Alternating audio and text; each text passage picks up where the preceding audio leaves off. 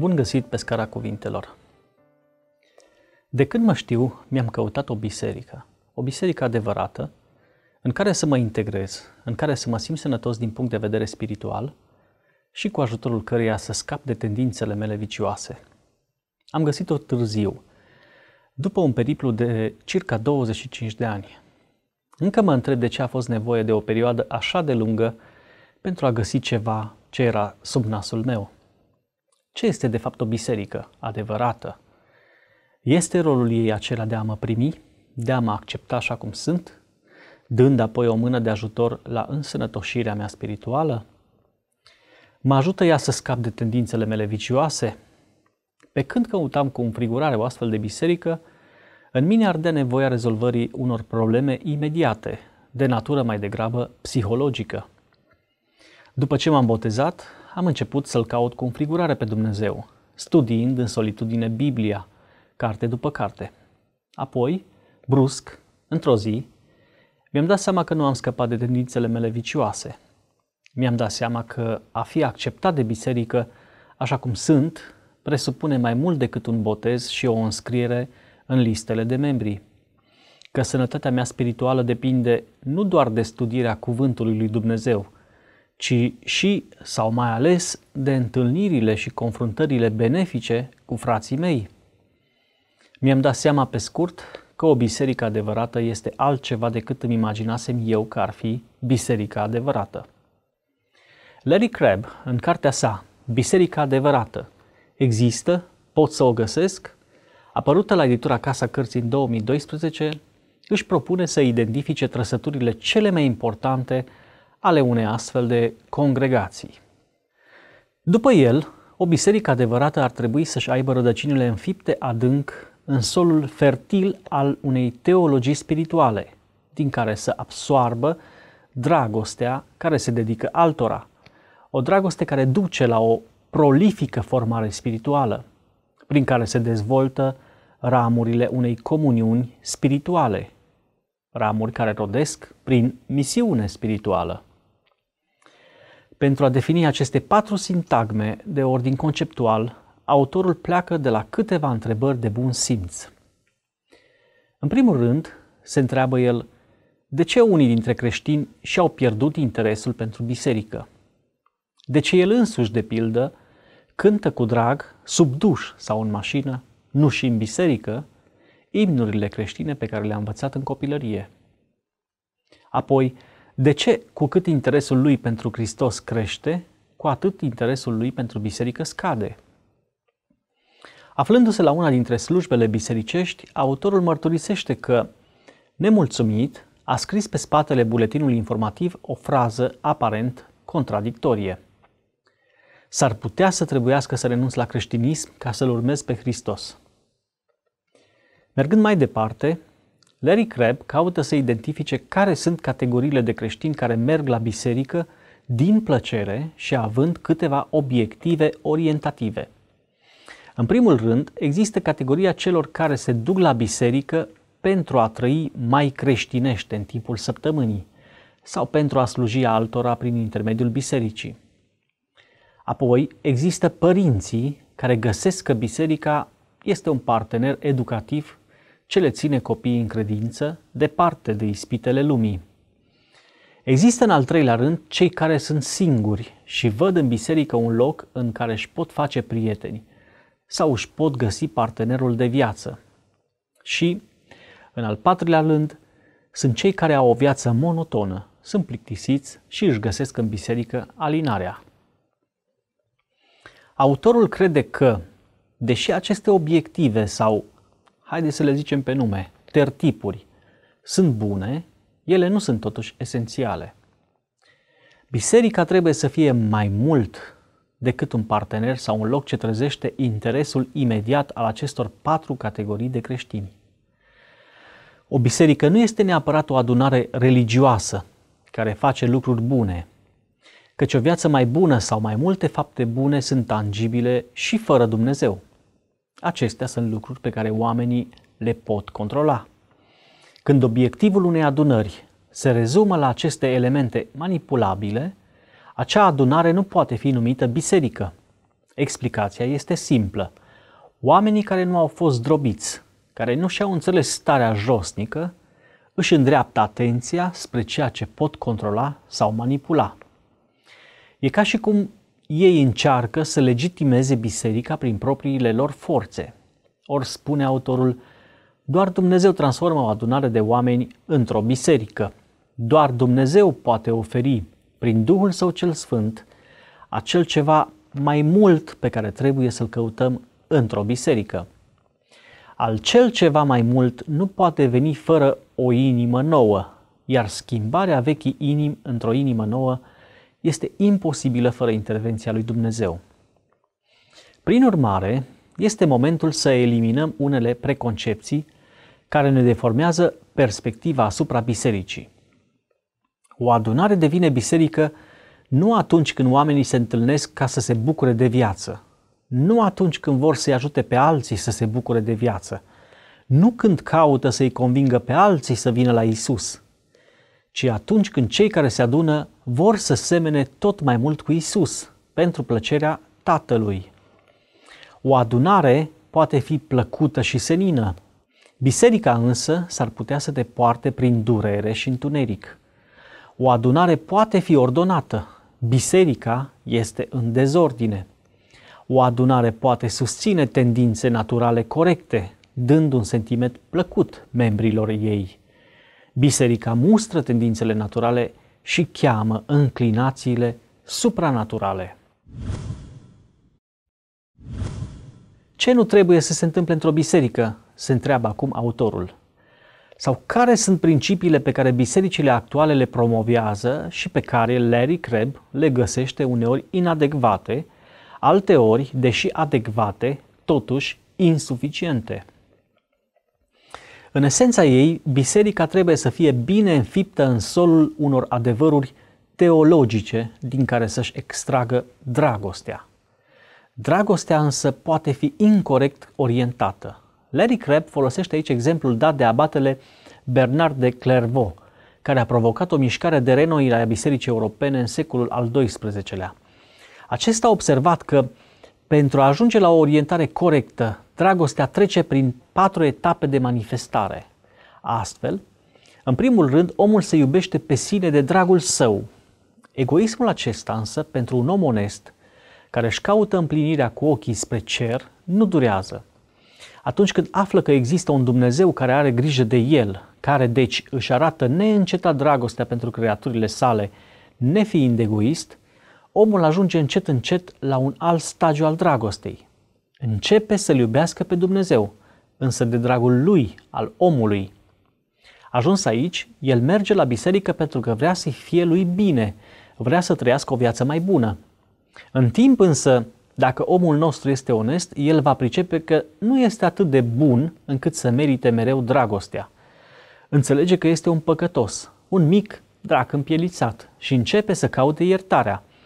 Când găsește această iertare, el trece la un nou stagiu al dragostei. Îl iubește pe Dumnezeu de dragul lui Dumnezeu. Omul nostru pare să fie ajuns, iată, la ultima etapă, însă nu e așa. Căci genul acesta de dragoste este impersonală. E ca și cum ai admira un apus de soare. El te încântă. Dar apusul de soare nu este apus de soare fiindcă vrea să te încânte.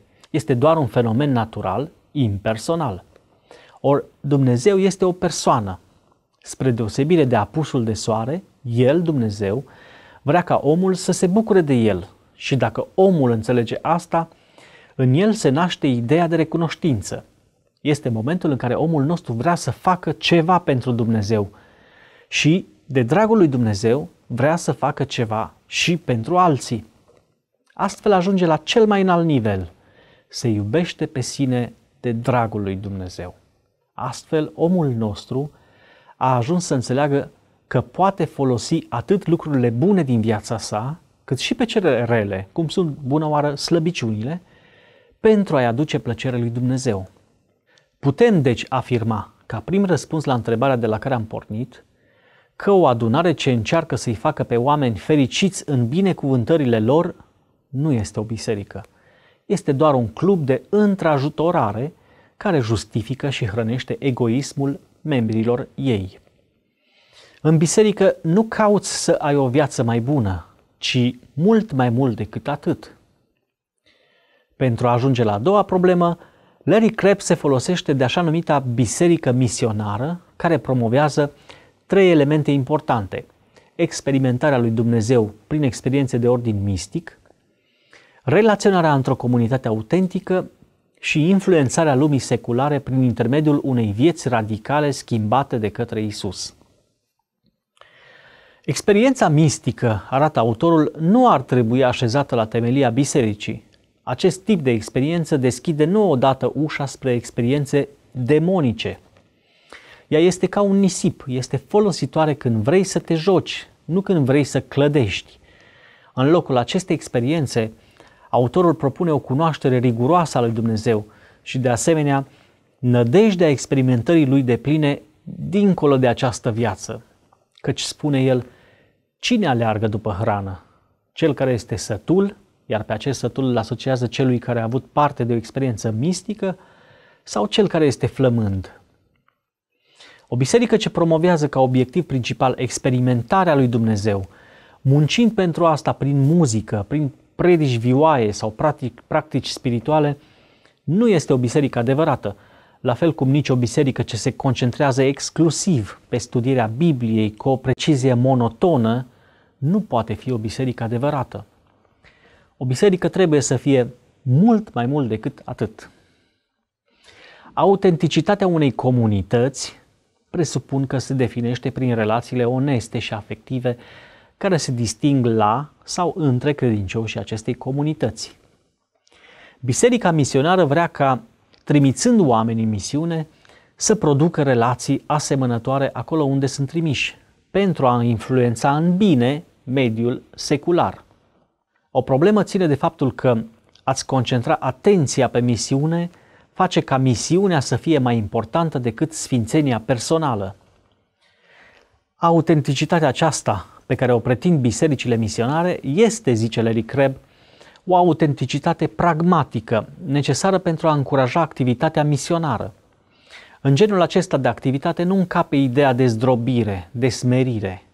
Ori, spune autorul, puterea împărăției și automat posibilitatea extinderii ei trebuie să plece de la zdrobire, nu de la incursiuni curajoase în mediul secular. Când biserica misionară se concentrează pe misiune, ea pare să nu mai vadă care este de fapt primul pas pe care trebuie să-l facă un om atunci când vine la Isus, anume conștientizarea stării sale josnice, de păcătos, singura care face posibilă convertirea inimii. Biserica misionară se concentrează parcă exclusiv asupra efectelor imediate, ignorând cauza, cauza primă care ar trebui să ducă la aceste efecte. O a treia problemă este legată de moralitatea pe care unele biserici o consideră temelia vitalității lor.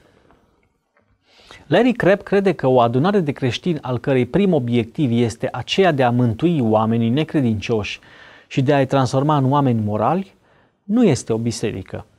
A căuta cu orice preț să fii moral și să rămâi așa, este mai degrabă o auto-îndreptățire în fața lui Dumnezeu. Hristos nu a venit pe pământ pentru a mă transforma într-un om moral și pentru a mă ține așa până la sfârșitul vieții, ca să pot merge în cer. Biserica trebuie să fie mult mai mult decât atât.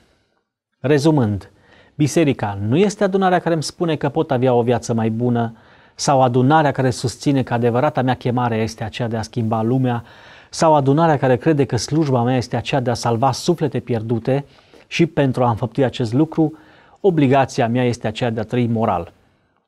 Și atunci, care este biserica adevărată? În primul rând, o astfel de biserică trebuie să știe două lucruri. Că orice om este un dezastru și că Dumnezeu este dragoste. Da, orice om este hidos din punct de vedere spiritual. Este un păcătos iremediabil. Iar când Dumnezeu iese înainte, iese în întâmpinarea slăbiciunilor lui. Abia atunci când omul își recunoaște starea, el poate trăi cu speranța că poate fi iertat, schimbat și folosit. Omul trebuie să fie onest și să primească întâmpinarea lui Dumnezeu acolo unde se află, nu acolo unde pretinde că ar fi. Când omul își recunoaște starea, cu cât îl cunoaște mai mult pe Dumnezeu, cu atât se simte mai prost în pielea sa. De ce? Pentru că, deși vede că ar trebui să fie pedepsit pentru ceea ce este, înțelege în același timp că Dumnezeu nu îl va pedepsi niciodată pentru cât de grav l-a jignit și pentru cât a fost de insensibil față de ceilalți. Din potrivă, în loc să-l pedepsească, Dumnezeu îl invită pe om la petrecerea sa, exact ca în pilda fiului rătăcitor. Ca urmare, omul nu va merge la biserică pe covorul roșu, mulțumit de sine, fericit de vestea salvării, ci conștient de josnicia sa, se va duce acolo pe o brancardă cu roți, căutând o transfuzie de sânge urgentă, de care are nevoie în fiecare secundă, nu o dată pe săptămână. O biserică adevărată înțelege lupta incredibilă din interiorul unui creștin. Înțelege că acesta, creștinul, îl vrea pe Dumnezeu și în același timp nu îl vrea pe Dumnezeu. Trupul lui cere cu toate celulele rezolvarea imediată a unor nevoi imediate, iar sufletul lui înțelege că aceste nevoi sunt secundare, sunt, comparativ cu nevoia de Dumnezeu, insignifiante. Larry Crabb crede că soluția ar fi aceea de a înlocui dependența de lume, de necesitățile imediate, cu dependența de Dumnezeu. Când biserica vine în ajutorul acestei comutări a atenției de la natural la supranatural, este o biserică reală, o biserică ce este conștientă de bătălia pe viață și pe moarte din interiorul unui creștin și dă o mână de ajutor la câștigarea ei în favoarea veșniciei. Primul semn distinctiv al bisericii adevărate este acela că mă ajută să scap de dependența de mine. Iar ajutorul vine prin scoaterea la suprafață a adevărurilor fundamentale care îi liberează. Adevărul învierii, adevărul narațiunii și adevărul reper. Lasă în seama cititorului să descopere detaliile referitoare la aceste adevăruri. Ele alcătuiesc acea teologie spirituală despre care vorbeam la început – al doilea semn distinctiv este acela că biserica respectă ingredientele remediului necesar pentru dependență. Astfel, dacă eu sunt dependent de mine însumi, o biserică ce hrănește această dependență nu face decât să mă ducă pe o cale greșită. Cântările din biserică, menite să mă înalțe în loc să mă coboare, sunt un astfel de exemplu. Adeseori când mergem la biserică, o facem ca să umplem un gol din noi – Însă și acolo, avem un program care face tot posibilul ca să uităm acest gol sau unul prin care, încercând să-l experimentăm pe Dumnezeu, umplem acest gol. În prima situație, fugind de Dumnezeu, iar în a doua, uităm că, în cel mai bun caz, noi doar gustăm din Dumnezeu, banchetul final nefiind un eveniment pentru aici și acum. Biserica trebuie să fie alături de mine și să mă învețe cum să mă folosesc de golul din mine pentru a mă forma spiritual, nu pentru a mă aduce la o iluzorie mulțumire sufletească.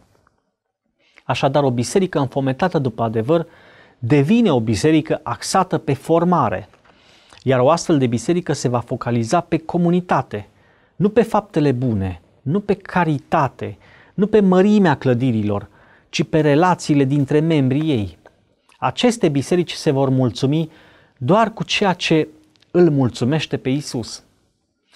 În Evanghelia după Ioan, Isus afirmă că ceea ce îi va distinge pe ucenici ca fiind ucenicii lui vor fi relațiile dintre ei. Eu le-am dat slava pe care mi-ai dat-o tu, spune Mântuitorul, pentru ca ei să fie una, cum și noi suntem una, eu în ei și tu în mine.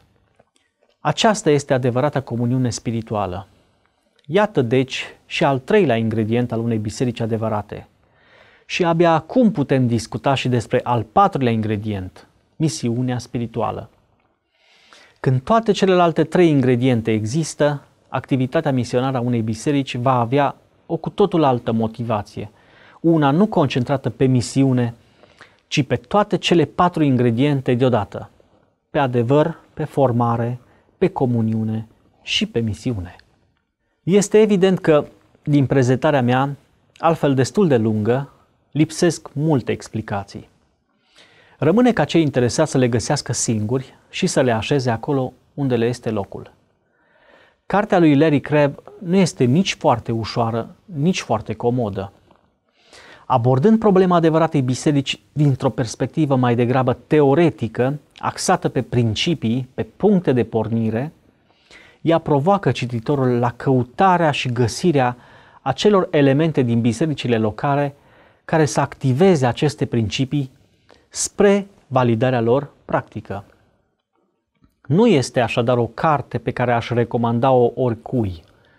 Îi invit pe lideri să o parcurgă și să mediteze asupra ei. Nu însă fără a se elibera mai întâi de acea predispoziție a întâietății care, departe de a fi constructivă, reușește să transforme comunitățile bisericești în simple instituții umane, ierarhizate uman și cu beneficii exclusiv umane.